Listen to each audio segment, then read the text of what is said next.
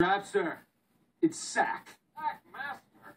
How was the wedding? Oh, that was boring, you know. But the bachelor party, of course, rocked. We got Heidi, a couple of those fucking sluts from the environmental group. Remember them? No way. Did you tap that again? Once in my place, then once back in the cab. Damn.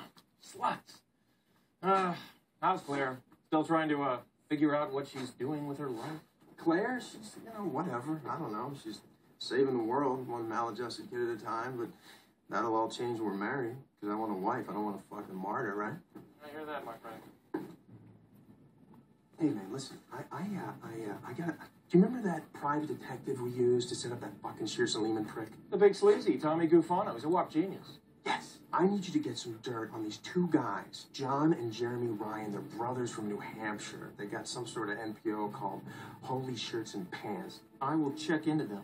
Excellent, bro. You demand. Take it easy.